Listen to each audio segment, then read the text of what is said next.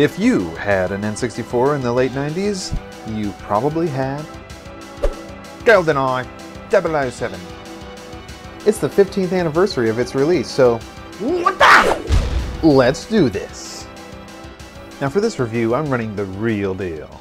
Low-res graphics, squeaky analog stick, and all.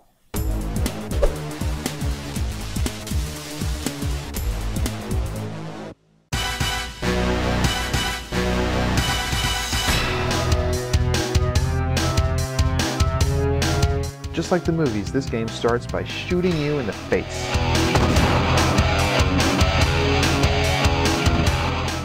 Released on August 25, 1997, GoldenEye 007 for the Nintendo 64 is now as ancient as it is influential.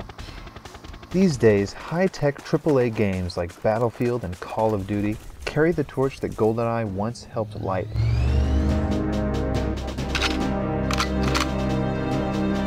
This was the state of the art, the top of the line for the time, and it defined what console-based shooters could be. In 1997, Doom was about four years old, a patriarch of the genre. Duke Nukem 3D and Quake had just come out a year before, each carving their own unique innovations in the industry. Games favoring full 3D environments, characters, and objects instead of pre-rendered sprites were in their infancy. The N64 was young, popular, and powerful in the console gaming world. Turok Dinosaur Hunter had released earlier in 1997 and was praised as a technically impressive shooter and adventure game.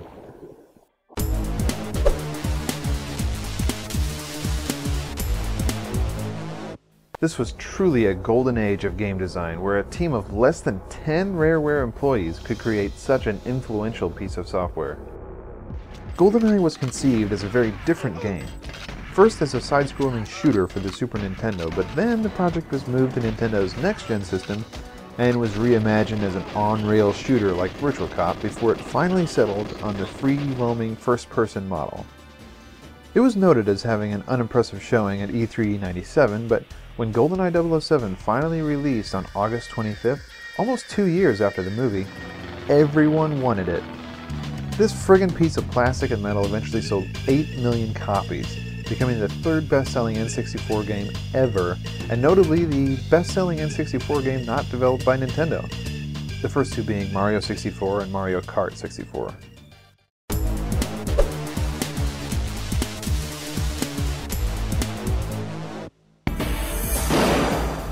Now, I'm a huge fan of the movie.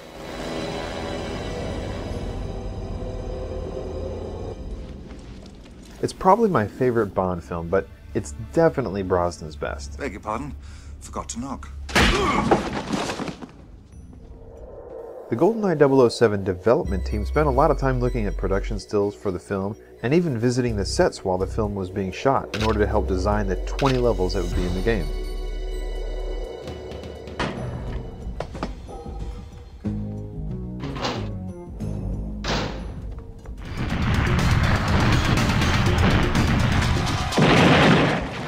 The game was tweaked a bit so that they could put the player into all these great movie set pieces, even if Bond didn't actually appear in those scenes.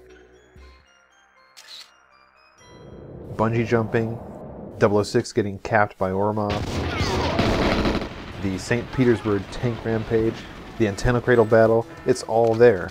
They even included Boris being a jerk. Designer Martin Hollis notes that the maps were built by the level designers without forethought as to player start and finish points. They were simply built to be interesting spaces and filled in with enemies and objects later. It's probably for this reason that the game seems somewhat non-linear. Sometimes you'll come across a corner of a level that has no real reason to exist.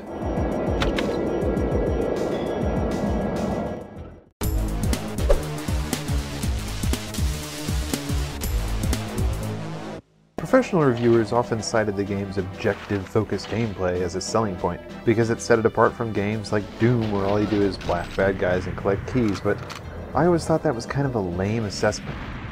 Yeah, the objectives are cool, and they add a certain feeling of authenticity to the game, but objectives weren't anything new in first-person shooters.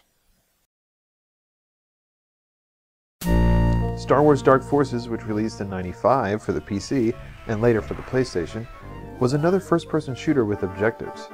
I've always thought of this as a harshly underrated game. It's really fun, but not because you get put to work running around completing tasks. The quality of a game is way more complicated than that. In Dark Forces, you could probably go through the entire game not even thinking about objectives because they were just incidental waypoints along a relatively linear path. Instead of being tedious, though, they were simple and effective catalysts to the story. This is too easy. Now to get to my ship. Besides, some of the objectives in GoldenEye were just downright confusing. I mean, it would have taken me forever to figure some of them out if I hadn't consulted a friend or a guidebook or something. I mean, how am I supposed to know that you're supposed to put a modem on this terminal? This computer in the surface, uh, you're supposed to blow it up, you're supposed to turn it off. It just says power it down. I don't know, you know. So I'm supposed to analyze the key. Okay, with the key analyzer, so what do I, okay, I guess I hit the trigger when I have this thing and I pick up the key. Telemetric data. All right. I'll look for that. In my opinion, GoldenEye's fluid controls contribute heavily to making it insanely fun and replayable. Guns fire and recoil in a way that just feels right. Running and strafing feels physical instead of just mathematical.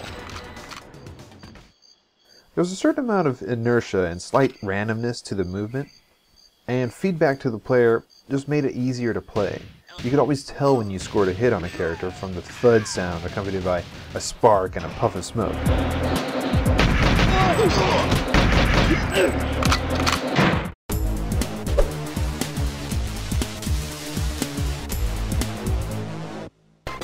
Being a kid in the 90s who had played a poop load of Doom at my best friend's house, I recognize a series of gameplay and graphical innovations that, while not always unique to the game, were at least the best implementations of such mechanics to date, in my opinion, and are things that you probably wouldn't even think twice about today.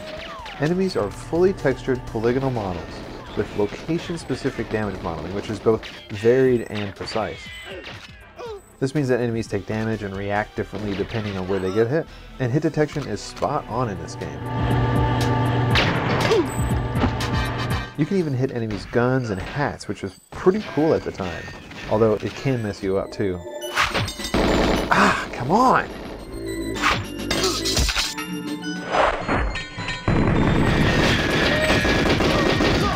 Die, man!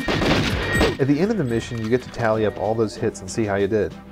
If you've ever wondered what other means, well, that's when you shoot people's guns and their hats. Next on the list of innovations are explosions. This game did them awesomely. In fact, it did them so well that just about everything could be destroyed. Like this. Or this. See this? Oh yeah, it's just a little model I've been working on in my spare time. Yeah, boom! I don't think it was until Max Payne that we saw such consistent environmental destructibility in a game. It seems simple, but this was the first game I remember that actually let you shoot a lock to open a door. Motion captured animations combined with clever enemy AI made the enemies seem way more realistic than other games at the time. They seemed super intelligent at times. How did he freaking know how to do that? And at times, really dumb. I mean, look at this guy.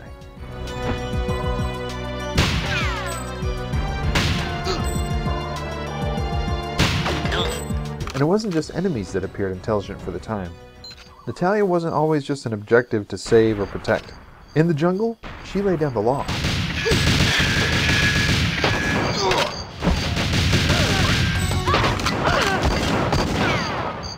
Also on the topic of non-player AI, what's up with the scientists in this game?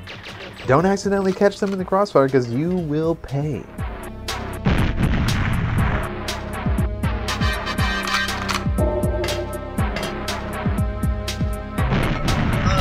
Russian scientists apparently don't frack around. The draw distance in this game was incredible for the time. After having trudged through the pea soup fog and Turok, which came out earlier in 97, gamers like me were blown away when we got the chance to basically snipe guards from as much as 300 meters away or more. It blew my brain. And that was just the first level. of course, the multiplayer. There's no denying that the multiplayer in GoldenEye was insanely popular. There was nothing more fun than crowding around the N64 with three of your friends. Amazingly, director Martin Hollis admits that multiplayer GoldenEye was an afterthought. The game didn't have any kind of multiplayer until just months before its release. Astonishingly, developer Steve Ellis is pretty much solely responsible for throwing the entire game mode together in that time. If you see him, thank this man. In any case, I'd wager most people spent more time in here than in a single player game. Multiplayer wasn't new in games, but the N64 marketed the poop out of the fact that it supported up to four players right out of the box. So split screen games like Star Fox and GoldenEye were big. Gentlemen, welcome to Versus Mode! Up to four players at once. See that? Each player has his own quadrant on the screen. In GoldenEye, you could pick from tons of characters and play a good variety of purpose-built multiplayer maps or conversions from the main game. To this day, I still refer to kills in games as kill counts.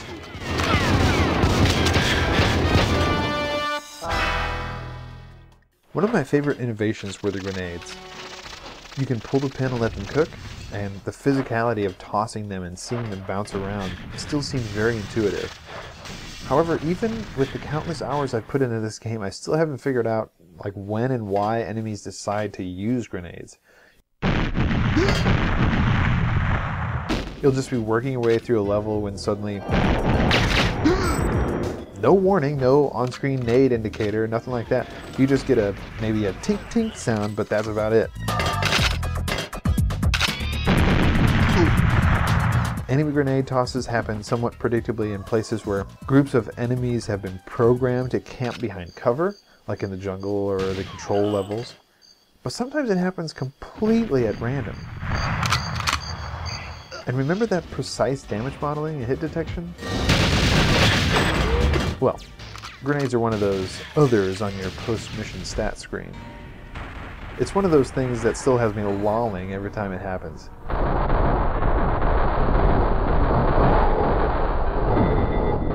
Even the weapons themselves are innovative.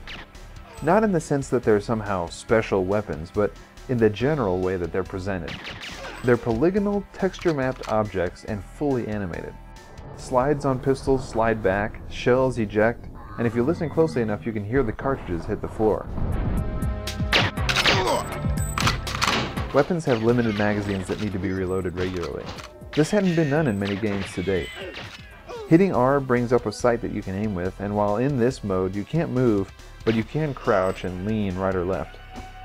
Besides this, player weapons leave bullet holes that are material specific. Wood, metal, stone, glass, each surface makes a distinct sound and decal. There was so much detail and complexity in the game that there was always an element of unpredictability. You never played it the same way twice, and you always had a reason to come back and have a new experience.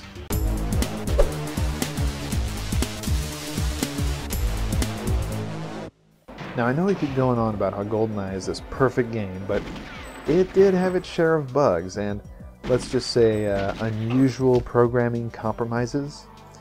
Rather than being annoying, though, in some cases I came to really enjoy some of these more uh, rough edges of GoldenEye.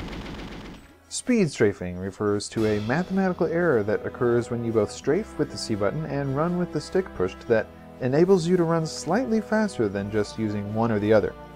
Something about the game adding your vectors together, I don't know. In any case, it gives you about a 40% speed increase if you do it right. A GoldenEye noob might contest this, but I've conducted races in multiplayer, and trust me, it's, it's a thing. There were a couple of strange enemy AI programming decisions that worked well enough in GoldenEye, but they'd never be accepted in today's games. For instance, in many levels, if an alarm went off, it could start infinite guards pouring into the map. Oh wait, well, I mean Call of Duty does that too. Okay, well I guess that's a bad example. The things enemies couldn't see or shoot through seemed odd sometimes. Glass, railings, and other barriers appeared like opaque walls to the enemies, so they never try to shoot through or across them, even when you're right there. It's a strange rule, but it does make things a lot easier, which is a good thing because this game is already pretty challenging. The stealth mechanics work really well for the most part, but the fact that you can get away with popping off single shots from an AK without alerting anyone doesn't really make sense. Good to know though! On a similar note, play the game enough and you'll realize that enemies can't shoot you if you're right next to them. It's like they put their guns right through you and then shoot through your body but on the other side of it. Realistic? No. Helpful? Yeah. The door mechanics in GoldenEye take some getting used to, uh, specifically doors that swing open. Alright, what the heck, man? Open, not close. Open. Now, once you realize that you can close doors as well as open them, you'll dominate multiplayer games in the facility and the archives by closing doors behind you and tripping up players that aren't as familiar with them. Possibly GoldenEye's biggest flaw is its frame rate. Being more of a PC gamer these days, I've grown accustomed to high resolutions and a silky smooth 45 to 60 frames per second. GoldenEye often drops not just below 30, but below 20 frames per second, and in extreme cases, like four-player matches and in cases where there are a lot of explosions or smoke effects on the screen, it can chug along even slower. I guess it's the price you pay for greatness on the N64.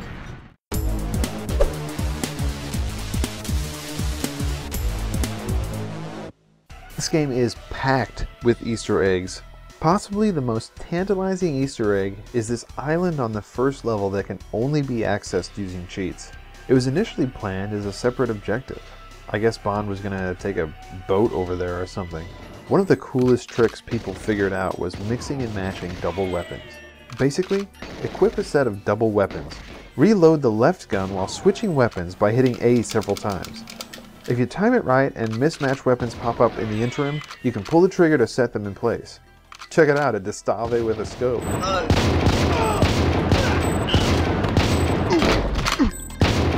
I only know about these from wasting so much time combing through the facility when I was a kid. I wonder what scientists put those up there.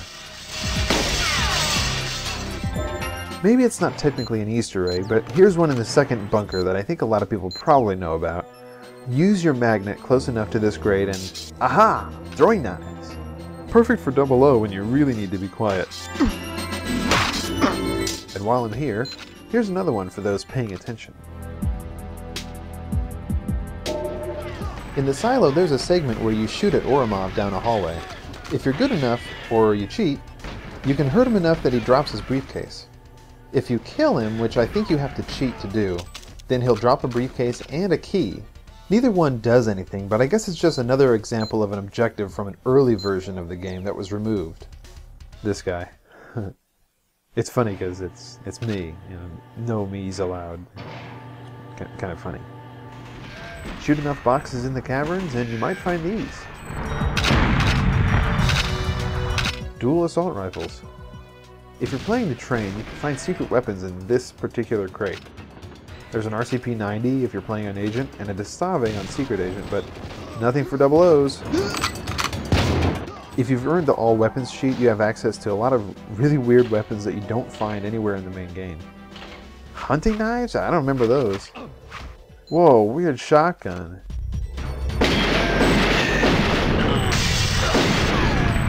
Wait, you can use the tank gun? What, do you shoot it out of your face or something?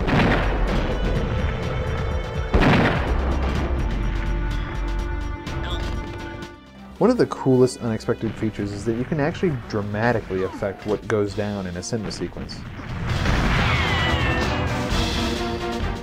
The sky's the limit when you've got a grenade.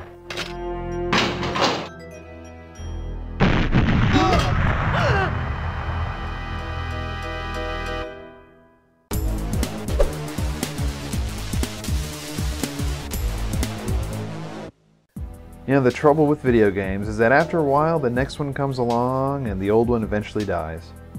After Perfect Dark came out and the N64 was slowly forgotten as the next generation of consoles came out, I thought this was the case with GoldenEye. Just a few years later, however, I found out about all kinds of online communities that have been keeping the game on life support all these years. All kinds of mods and conversions of the game have been invented by the rabid fans out there. GoldenEye Doom is a total conversion for the PC game Doom that replaces sound effects, graphics, levels, pretty much everything to be like GoldenEye. Why? Mm, I'm not really sure, but this is pretty cool, right?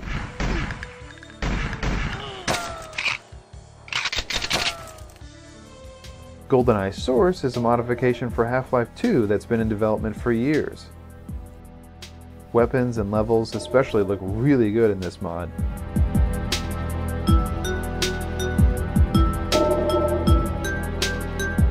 So different yet so similar. One of the coolest mods I've heard of is GoldenEye Online. It's less of a mod and more of a hacked emulation, but somehow people way smarter than me figured out how to run the GoldenEye ROM in an emulator and play death matches with other people online. This just blew my mind when I heard about it. Don't like playing GoldenEye with a keyboard and a mouse? Pick up one of these and plug your N64 controller right into your computer. There are several others too. There's a Perfect Dark into GoldenEye conversion called GoldenEye X. There's a conversion called Goldfinger 64. You can even find user-made levels that you can play if you're using an emulator. It's really amazing how robust this online community is. Well, I guess that's about it for my GoldenEye 007 retrospective review. Happy 15th birthday, GoldenEye. Hey guys, thanks for watching my review of GoldenEye 007 for the Nintendo 64. I wanted to talk more about follow-ups to the game, and specifically the remake that came out in 2010, but I just couldn't fit it all in, so I'm making a follow-up video. Stay tuned in the coming weeks for that and subscribe to my channel to be notified when it's posted. Thank you.